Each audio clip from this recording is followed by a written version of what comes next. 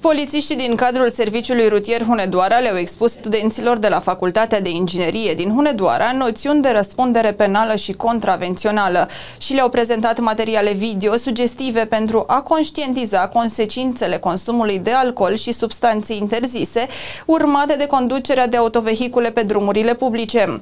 După noțiunile teoretice, tinerii au avut ocazia să experimenteze modul în care reflexele și percepția le sunt afectate în urma consumului de alcool și de substanțe psihoactive.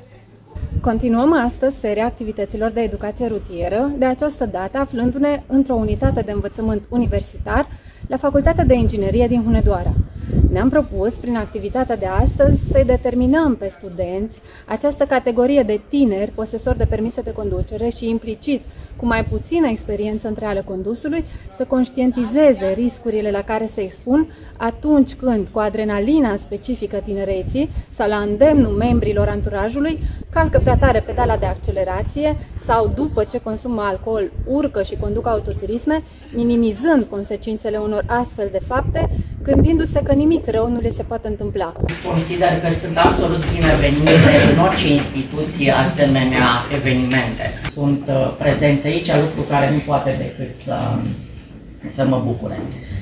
Bine, vă mulțumesc încă o dată pentru prezența în cadrul facultății noastre și uh, vă transmit uh, toate gândurile noastre bune și întreaga susținere. Mulțumesc!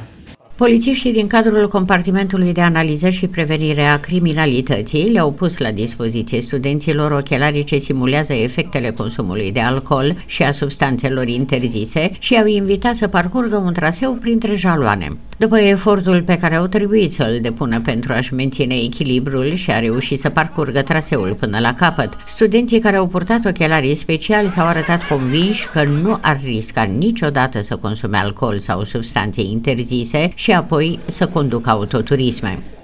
Amețeai la aproape Da, asta e. Poți coordona, să te coordonezi așa, dacă ai conduce mașina, știi că ai consumat uh, uh, droguri. Nu, adică dacă era cu cineva la ăla la care știi că uh, a consumat, astfel de substanțe. Bun. La finalul acțiunii, tuturor participanților le-a fost prezentat laboratorul mobil de educație rutieră și le-au fost distribuite flyere educativ preventive.